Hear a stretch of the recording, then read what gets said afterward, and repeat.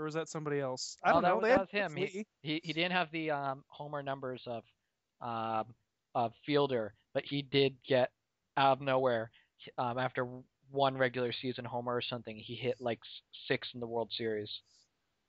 So I mean, how, how are you gonna argue with that? How are you gonna argue with that? So Prince Fielder, being mistaken for Troy Tulowitzki, they have similar builds and complexions, so that is understandable. Well, I mean, you know, dude on the mound is colorblind. All right, so- are you you you have to be setting an alarm for yourself because we all know you're not this popular.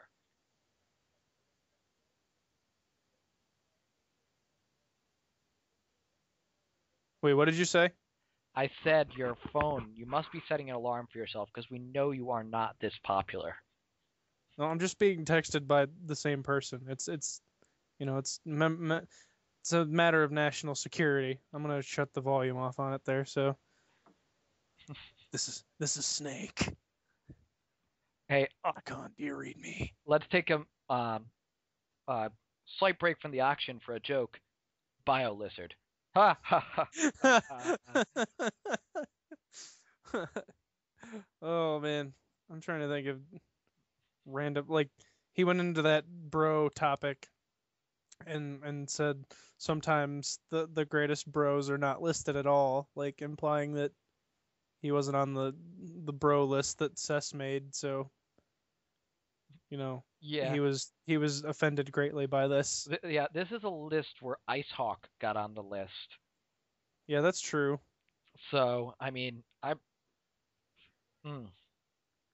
I'm I'm happy with my performance against Relo in that that bro tournament thing. Yeah, I got like five.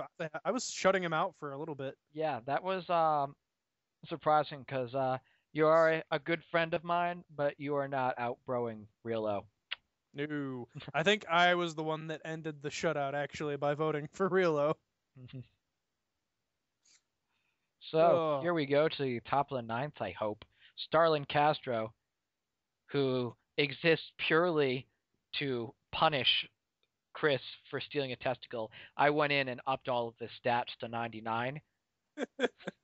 Of course, the- having great stats in this game would probably be a drawback, as we've learned from players like CC Sabathia and uh, Sabathia in line for the win tonight. and Evan Longoria. Who makes that play? Oh come on, throwing error. Damn.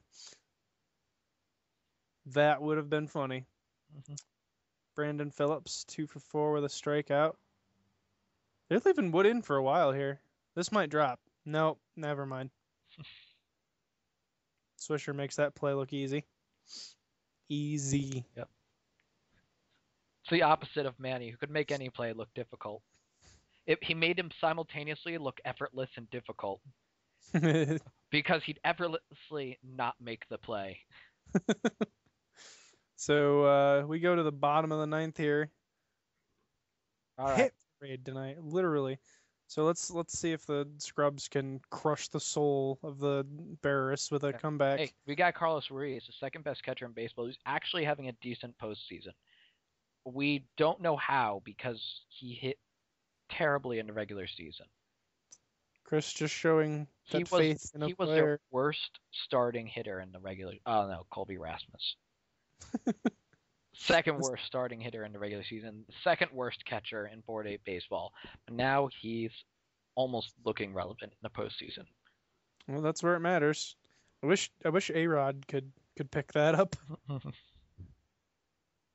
Instead, he was just below average in the regular season and worse in the postseason. Three and two here, battling against Arthur Rhodes. Is that their closer? Oh, I didn't know. I, I didn't know. there's no way he's their closer. I didn't know he still was like an active player. Yeah, Soria was their closer. Um, I don't know if he still is. And then Sites. Oh my god, dude! They're about to go through an entire game without intentionally walking Tulowitzki. This is blasphemy. As commissioner, I am going to vote that this game. Wait, did Jason Bartlett get it? Did Bartlett get it against this game? oh, as Tulo grounds out. Maybe they finally figured it out, guys. We could just pitch to him. oh my god, it actually works. That's going to be Moneyball 3. you can actually pitch to the hitter sometimes. Holy shit! As Keppinger's replacement, Oh, and you could hear the boos and the cries, Mm, Cappinger, Cappinger. We want Keppinger. We wish his name had less syllables. Oh man. So uh, the Barrists get themselves back into the series. That's the good news. The bad news is they face Roy Halladay next game. Uh, you know, a wise man once said, uh, "A series hasn't started until a uh, a home team wins a game." Oh, I get it. All right, yeah. How did the Barrists have home field in this series anyway? World Series, where you know, it was a deal with the devil. I thought that Roy Halladay sold his soul. It's like, did you ever read that thing about how um, Brad Lidge selling his soul to um, get the World Series ring, and that he he would suck every year for like the next five years, but we'll give you one season. You go 40 for 40. The only save you'll blow will allow will give your team um, the your team the other team home field advantage in the World Series so that you get so that you can steal the series at home.